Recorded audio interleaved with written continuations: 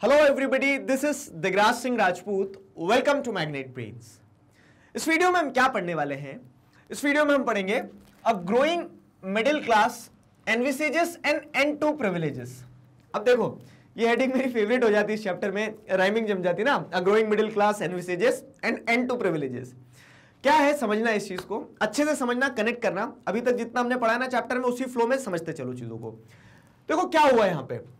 आपने देखा कि फ्रेंच सोसाइटी जो थी तो फ्रेंच सोसाइटी में कहीं ना कहीं प्रिविलेजेस कौन एंजॉय कर रहा था? दो चीज़ें हैं। तो एंड टू प्रिविलेजेस मतलब प्रिविलेजेस खत्म करना है। खत्म कब करोगे? जब कोई एंजॉय कर रहा होगा। कौन एंजॉय कर रहा था? फ़र्स्ट स्टेट और सेकंड स्टेट के लोग। क्लर्जी और नोबेलिटी जो थी तो वो प्रिविलेजेस को एंजॉय करते थे बाय बर्थ अब खत्म कौन करेगा? देखो थर्ड स्टेट जो है ना तो थर्ड स्टेट लोअर स्ट्रेटा था। वो आवाज़ नहीं उठा पाता था। लेकिन जब थर्ड स्टेट में भी क्या होता है? एक मिडिल क्लास इमर्ज होती है ना। तो this growing middle class will end the privileges of first state and second state clear है? तो पूरा बैकग्राउंड समझो कि मिडिल क्लास कहाँ से आई। ऊपर से नहीं गिरी है कहीं से। ठीक है? वो उसी थर्ड स्टेट में डेवलप होती है। कैसे डेवलप होती है? वो चीज़ हम इस वीडियो में सीखेंगे। और फिलोसोफर्स का क्या इंपॉर्टेंट रोल रहा? वो भी हम इस वीडियो में सीखने वाले हैं। क्लियर हुआ? तो देखो नो डाउट जो पीजेंट्स और वर्कर्स थे थर्ड स्टेट के जो आप लोगों को देखते हो तो थर्ड स्टेट के लोग क्या करते हैं? They have participated in revolt against increasing taxes and food scarcity दो, जो अभी हम पिछले दो वीडियोस में पढ़ के आए कि हाँ ट्रेजरी खाली हो गई थी तो राजा ने मूड बना लिया था टैक्स इंक्रीज करूँगा। ठीक है सब्सिस्टेंस क्राइसिस था, जिसके चलते फ़ूड कमोडिटीज वगैरह के प्राइसेस बढ़ना there was a struggle to survive among the people ठीक है? Specifically among the poorest people जो गरीब लोग थे, वो ज़्यादा संघर्ष कर रहे थे। क्लियर हुआ? ये स्थिति थी। अब इस स्थिति में क्या होता है? जैसे अगर आप देखोगे ना तो ये पीजेंट और वर्कर्स जब पार्टिसिपेट करते हैं रिवॉल्ट वगैरह में तो बहुत ज़्यादा चेंज नहीं आता है। क्यों? क्योंकि they have they have been not in a position to protest और to change their political and economic situations ठीक है, वो प्रोटेस्ट ही कर सकते थे, लेकिन उनके पास में वो पोजीशन नहीं थी कि वो अपने स्थिति को सुधार सके। ठीक है, लेकिन इस थर्ड स्टेट में भी एक सेक्शन जो था, ठीक है, समझना but only a section within the third state became prosperous and educated देखो एक एक शब्द जो होता है ना एनसीआरटी का एनसीआरटी का एक एक शब्द अपने आप में एक बहुत बड़ा मीनिंग लेके चलता है। अगर उसको जैसे बैठ के पढ़ा जाए, मैं आज भी एनसीईआरटी पढ़ता हूँ तो मुझे एक अलग डायमेंशन देखने को मिलता है। क्लियर है? और मैं इस चीज़ पे आपके साथ शर्त भी लगा सकता हूँ कि आप एक हज़ार बार भी एनसीआरटी पढ़ोगे एक अलग डायमेंशन देखने को मिलेगा एक अलग आ, कह सकते हैं डिस्कशन के लिए पॉइंट खुल जाता है वहाँ पे। तो हर एक चीज़ को अच्छे से पढ़ते चलना हम जितना होगा आपको बताते चलेंगे और। ठीक है? तो यहाँ क्या हुआ कि आपने देखा पीजेंट्स और वर्कर्स जो उन्होंने पार्टिसिपेट किया ठीक है बढ़िया पार्टिसिपेट किया। ठीक है किस चीज़ के अगेंस्ट में तो जो टैक्स बढ़ाने की बात चल रही थी बात चल रही थी कि कैसे प्राइसेस बढ़ रहा है सब्सिडेशन क्राइसिस हो रही है। लेकिन उनके पार्टिसिपेशन से बहुत कुछ बदला नहीं है। ठीक है बहुत कुछ बदला नहीं है। हर इंसान का social political economic situation change नहीं हुआ। बिकॉज़ दे लैक्ड रिसोर्सेज उनके पास रिसोर्सेज नहीं थे। लेकिन वो थर्ड स्टेट में से ही एक सेक्शन ऐसा भी इमर्ज होगा, ठीक है, जो इस पूरी प्रोसेस में, जो पूरे बदलते सर्कमस्टांसेस हैं, उनमें प्रॉस्परस होता है और एजुकेटेड होता है, ठीक है? तो अब यहाँ पे दो शब्द निकल के आए प्रॉस्परस और एजुकेटेड तो अब प्रॉस्परस और एजुकेटेड सेक्शन जो है, ये कौन है? ठीक है? तो सवाल ये आता कि who became prosperous and educated and how they become prosperous and educated दिखती बात है। अब इसको थोड़ा और सिंपल कर दूँ मैं। तो जिसके पास पैसा आ जाएगा ना तो वो पैसे से अपने क्या ले लेगा? शिक्षा ले लेगा। ये तो एक सीधा रास्ता हो गया। ठीक है? तो हु बिकेम प्रॉस्परस हमें वो समझना है, क्योंकि वो प्रॉस्परस जो होगा, वो कैसे होगा, वो भी समझना है। अब जब जो प्रॉस्परस है, वो जैसे भी प्रॉस्परस बना तो एजुकेटेड तो अपने आप हो जाएगा। तो ऐसी चीज़ें जुड़ी हुई है। क्लियर है? तो इस तरह से क्या होगा कि अल्टीमेटली हमारी मिडिल क्लास इमर्ज होगी। देखो, मैं आपको अभी डॉट्स दे रहा हूँ, इन डॉट्स को कनेक्ट करेंगे हम, ठीक है? ऐसा मतलब ऐसा लग रहा होगा आपको कि सर, सब फैल गए टॉपिक उनको समेटेंगे, रुको। क्लियर है? तो इतनी चीज़ें आपको समझ में आई है ना? बैकग्राउंड ध्यान में रखना सब्सिस्टेंस क्राइसिस है ट्रेजरी खाली है थर्ड स्टेट के ऊपर पहले से प्रेशर है कि टैक्स बढ़ा दिया जाएगा और। क्लियर हुआ? तो ये बैकग्राउंड था। अब देखो क्या होता है तो प्रॉस्परस कौन बना? तो अगर हम बात करें तो जैसे मर्चेंट्स ट्रेडर्स लॉयर्स मैन्युफैक्चरर्स ये लोग जो है ना ये लोग क्या करते हैं? ये लोग प्रॉस्परस बनते हैं। तो जो, वो जो पूरा सिचुएशन था ओल्ड रिजीम की हम बात करें तो उस टाइम पीरियड में क्या होता है? एक सेक्शन जो है थर्ड स्टेट का।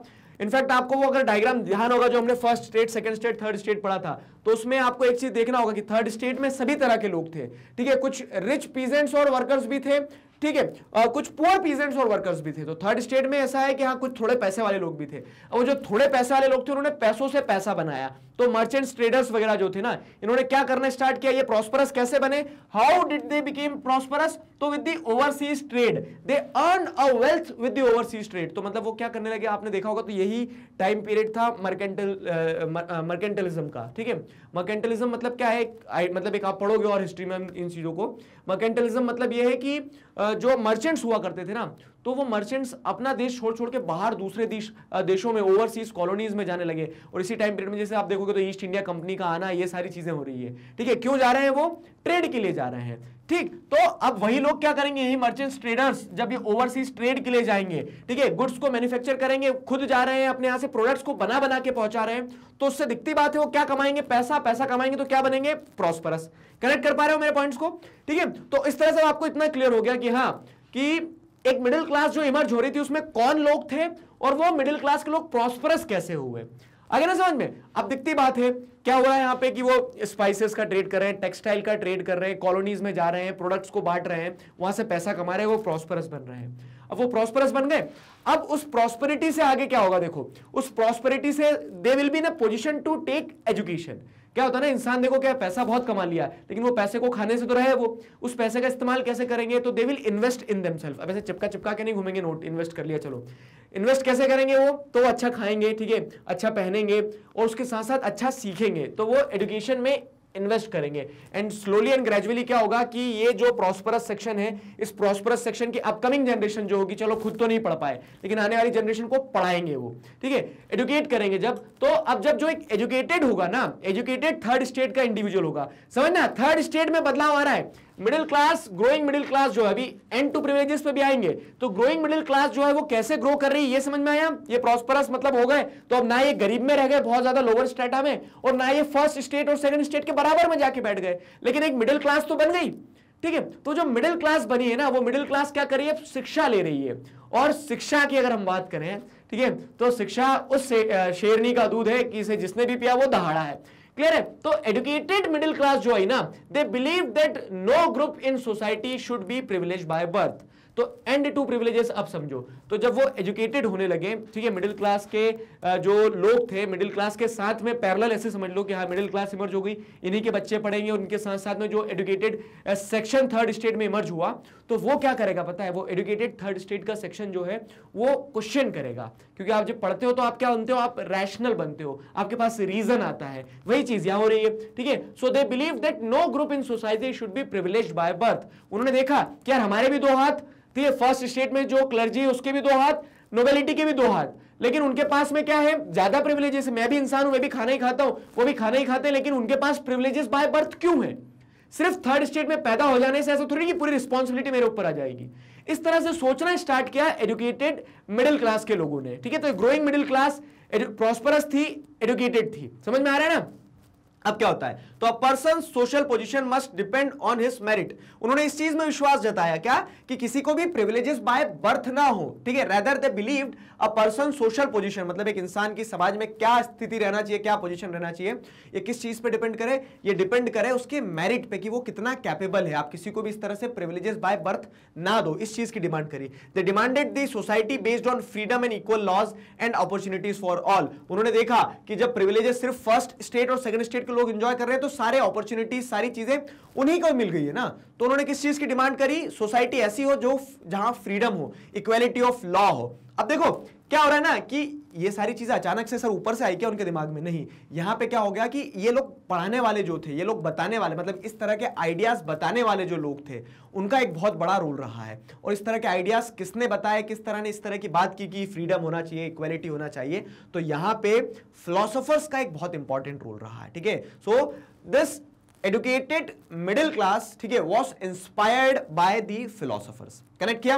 ठीक है, अब यहाँ पे सवाल बनता है, देखो थ्योरी पार्ट पे क्वेश्चन किसी भी तरह से बन सकता है कि how did a middle class emerge in Europe ठीक है in the late eighteen century या फिर कह सकते हैं how how did the growing middle class emerge in old regime MCQ पे भी क्वेश्चन बन सकता है, आपका कि स्टेटमेंट्स दे देंगे, इनमें से कौन सा फैक्ट है, जिस जो रिस्पॉन्सिबल था मिडिल क्लास के इमरजेंस में या नहीं था। देखो तो क्वेश्चन वही वाली बात है, बहरूपिया है, कहीं से भी आ सकता है, आपको पॉइंट पकड़ना होगा बस। ठीक है, आपको कंसेप्ट पकड़ना होगा कि हाँ कहानी क्या चल रही है। क्लियर हुआ?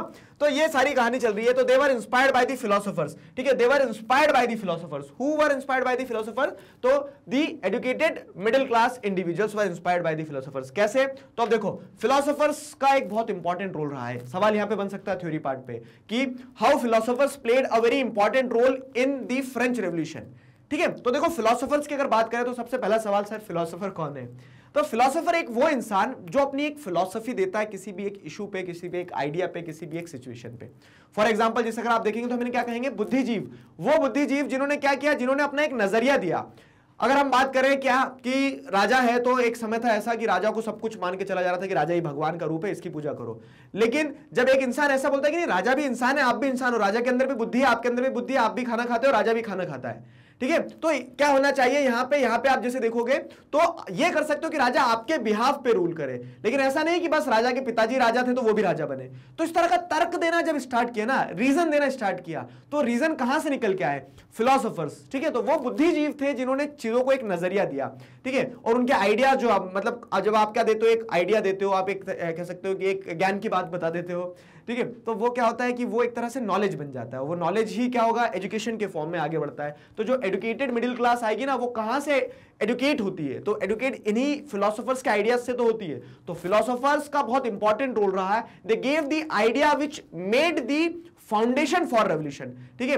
क्रांति आती है, दिखती बात है कि क्रांति में हाँ वो क्या किया उन्होंने? बेस्टाइल को पूरी तरह से तोड़ फोड़ दिया। लेकिन वो तो क्या है इमीडिएट कॉज दिख रहा है। लेकिन उसके पीछे जो आइडियाज़ बिल्डअप हो रहे थे, जिन्होंने उस क्रांति को जन्म दिया, उस रेवल्यूशन को जन्म दिया, वो कहीं ना कहीं फिलोसफर्स के आइडियाज़ थे। ठीक है तो philosophers have played a very important role in French revolution you have to understand and connect these points ठीक है? इन पॉइंट्स को कनेक्ट करना पड़ेगा। तो जैसे फिलोसोफर्स में बात करते हैं जॉन लॉक की। देखो जॉन लॉक क्या है? तो अब ये सारे यूरोपियन फिलोसफर्स है, कोई फ्रांस से, कोई इटली फ्रांस से, कोई ब्रिटेन से है, कोई जर्मनी से है, ठीक है? तो ये फिलोसफर्स जो थे, जैसे जॉन लॉक की अगर हम बात करें तो जॉन लॉक ने अपने वर्क में, ठीक है in his work two treatises of government इस बुक में उन्होंने क्या क्या क्या आइडिया दिया? He sought to refute the doctrine of divine and absolute right of the monarch क्या हो रहा देखो, समझना। तो फिलोसोफर्स के क्या रोल थे? बहुत इंपॉर्टेंट रोल थे। They gave the idea for revolution तो जॉन लॉक क्या कहते हैं अपनी बुक में? टू ट्रीटीज ऑफ़ गवर्नमेंट में। उन्होंने ये कहा कि, देखो, राजा है अच्छा है, बढ़िया है, अपने घर में है।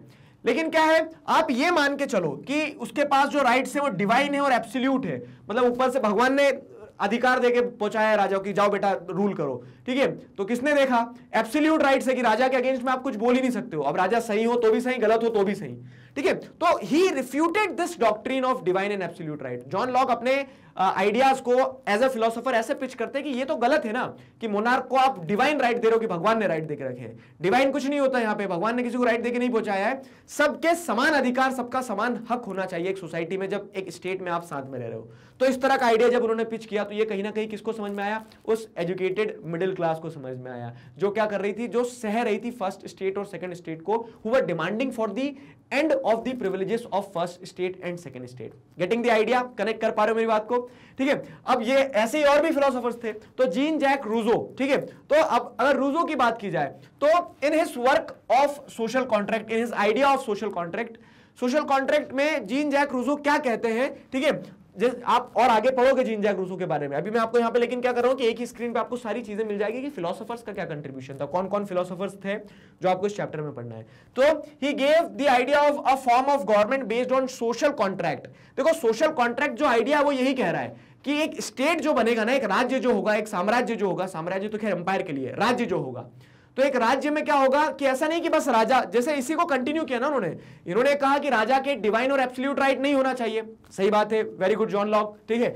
रूजो क्या कहते हैं? आगे एड ऑन क्या करते हैं? तो जैसे आप इसी आइडिया पे एड ऑन ऐसा करते हैं, वो ये कहते हैं कि, ठीक है हमें, ये तो समझ में आ गया कि डिवाइन और एब्सोल्यूट राइट नहीं होना चाहिए तो फिर कैसे काम चलेगा? तो एक कॉन्ट्रैक्ट होना चाहिए, जनता के बीच में और जो रूल कर रहा है उसके बीच में, ठीक है? तो he gave the idea of a form of government based on the social contract between people and their representatives मतलब आम जनता हमेशा हर डिसीज़न में पार्टिसिपेट नहीं कर पाएगी, लेकिन वो जो पार्टिसिपेट करेंगे डिसीज़न में, वो आम जनता के रिप्रेजेंटेटिव्स होना चाहिए। दोनों एक कॉन्ट्रैक्ट से काम करें। तो he gave the idea of social contract ठीक है? ही ही कह सकते हैं कि he campaign for equal voting rights and democratic government कि सबको समान वोटिंग राइट्स मिले। एक गवर्नमेंट जो बने तो कॉन्ट्रैक्ट पे कॉन्ट्रैक्ट के बेस पे बने, ठीक है?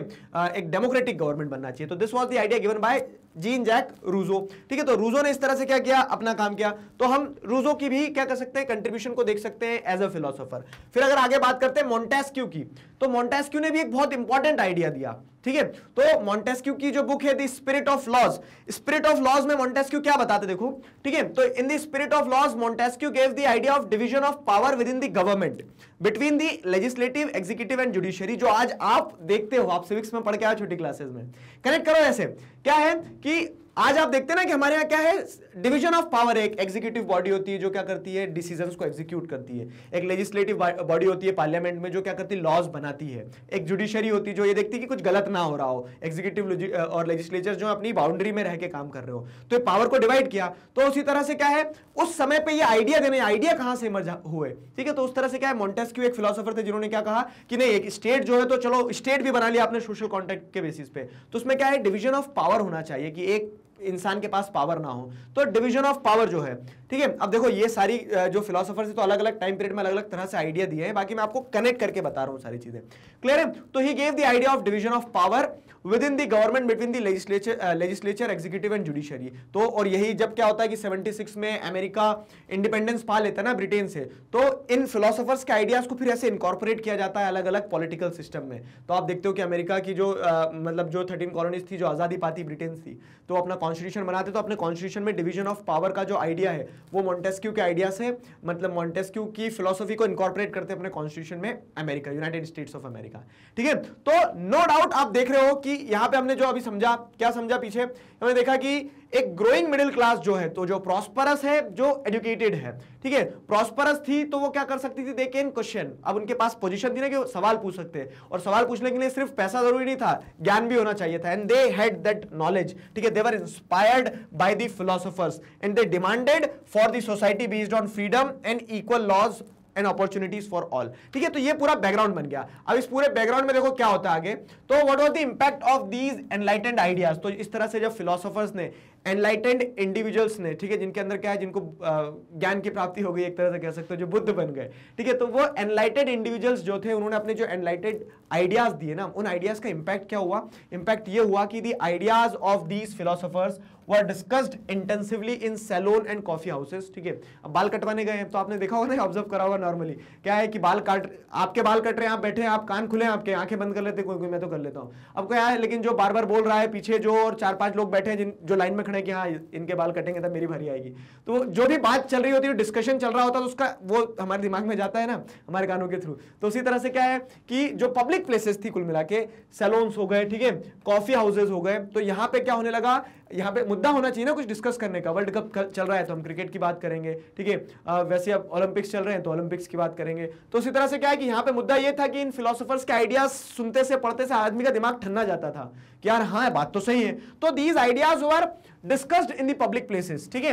And spread among the people through books and newspapers तो बुक्स में लिखना चालू कर दिया न्यूज़पेपर्स में छापना चालू कर दिया, इन आइडियाज़ को लोग पढ़ने लगे क्वेश्चन करने लगे। क्वेश्चनिंग दी प्रिविलेजेस ठीक है? Questioning the privileges of first first state and second state ठीक है? They were demanding the end to the privileges clear हो गया? अब क्या होता था कि जो पढ़ लिख नहीं पाते थे इलिटरेट होते थे तो these were frequently read aloud in groups for the benefit of those who could not read and write ठीक है? तो पढ़ के सुनाया जाता था, अधिकतर क्या है पब्लिक प्लेसेस में जो लोग पढ़ या लिख नहीं सकते थे इलिटरेट पॉपुलेशन के लिए।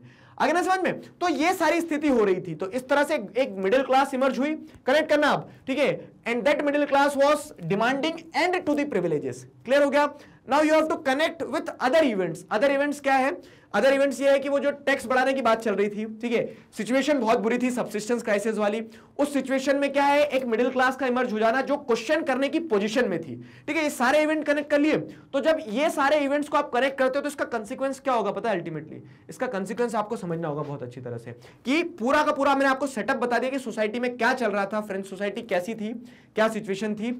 अब उस सिचुएशन में लुइस सिक्सटीन ने यह प्लान कर लिया था कि वो टैक्स बढ़ाने वाला है। अब क्या हो रहा है कि लोग अवेयर थे फिलोसोफर्स के आइडियाज़ थे उनके दिमाग में। देवर डिमांडिंग की प्रिविलेजेस खत्म हो। यहाँ पे आप और प्रिविलेजेस का इस्तेमाल करना चाह रहे हो मतलब आप खून चूस रहे थे थर्ड स्टेट का पहले से। अब आप क्या सोच रहे हो कि आप पूरा निगल ही ले उन्हें। तो अब होगा नहीं। बूंद बूंद से घट भरता है और वो घट भर चुका था। तो when Louis sixteen plan to impose further taxes to be able to meet the expenses of state generated anger and protest against the system of privileges जब लुइस सिक्सटीन ने ये कदम उठाने का सोचा तो उसके परिणाम क्या आएँगे कंसिक्वेंस क्या आएँगे? कि हाँ अब तू टैक्स बड़ा मत देना लुइस सिक्सटीन इस तरह से लोगों ने वार्निंग दे दी अल्टीमेटम दे दिया। क्यों? क्योंकि people were aware about the ideas now they had the reason now they had the rational ठीक है, उनके पास एक रैशनल माइंड था कि हाँ क्या सही है, क्या गलत है। उन्होंने, आप जैसे देखोगे तो लुइस सिक्सटीन ने जब ये क्या मतलब ये स्टेप लेने का प्रयास किया ना तो it generated anger and protest against the system of privileges तो therefore it is written and growing a growing middle class envisages end end to privileges I hope you enjoyed the topic आपको सारी चीज़ें समझ में आई और आप connect कर पाए हैं। ठीक है, और यहाँ क्या होता है अल्टीमेटली लुइस सिक्सटीन फंस जाता है और यही रेवोल्यूशन आता है, यही उसे गादी छोड़ना पड़ती है। तो वो रेवोल्यूशन आउटब्रेक कैसा होता है, वो हम नेक्स्ट टॉपिक में पढ़ेंगे। तो एक हमारा जो ब्रॉड हेडिंग था, वो कंप्लीट हो गया है। नेक्स्ट टॉपिक से हम ये देखेंगे कि आखिरकार घगरा फूटा कैसे मतलब वो जो आउटब्रेक कैसे हुआ रेवोल्यूशन क्लियर है? वो नेक्स्ट टॉपिक में पढ़ेंगे। मैग्नेट बेंस पर इसी तरह से सभी सब्जेक्ट्स चैप्टर्स टॉपिक सब टॉपिक सब कुछ। सिस्टमैटिक वे में वीडियो लेक्चर्स के फॉर्मेट में अवेलेबल हैं, जिन्हें आप बहुत आसानी से देख सकते हैं, पढ़ सकते हैं। ये सभी वीडियो लेक्चर्स यूट्यूब चैनल पर अवेलेबल है। साथ ही साथ अगर आपको ढूँढने में दिक्कत जाती है तो आप हमारी ऑफिशियल वेबसाइट पर भी विज़िट कर सकते हैं, जो है मैग्नेटबेंस आपको गूगल पर जाना है मैग्नेटबेंस लिखना है सिंपल ठीक है? आपके सामने एक वेबसाइट आएगी, उस पर क्लिक करेंगे तो कुछ इस तरह का इंटरफेस आएगा। आप जिस भी क्लास में नाइन्थ क्लास में, अपनी क्लास को सेलेक्ट कीजिए, आपके सामने उस क्लास के सभी सब्जेक्ट्स आ जाएँगे। सब्जेक्ट्स आ गए, अब आपको जो सब्जेक्ट पढ़ना है, आपको हिस्ट्री पढ़ना है हिस्ट्री पे सेलेक्ट कीजिए तो हिस्ट्री के चैप्टर आ गए टॉपिक आ गए सब टॉपिक आ गए। आपको जो पढ़ना है, उस पर क्लिक करो, आपके सामने वीडियो होगा, आराम से घर बैठे अपना सिलेबस कंप्लीट करो। अपने जूनियर्स और सीनियर्स को ज़रूर बताना और ये चीज़, और अपने क्लासमेट्स को भी, क्योंकि किंडर से क्लास ट्वेल्थ तक इसी तरह से हर चीज़ मैग्नेट बीन्स पर अवेलेबल है, हर सब्जेक्ट मैग्नेट बीन्स पर अवेलेबल है। मिलते हैं नेक्स्ट वीडियो के एक अगले टॉपिक के साथ। Till then stay connected keep learning thank you thank you very much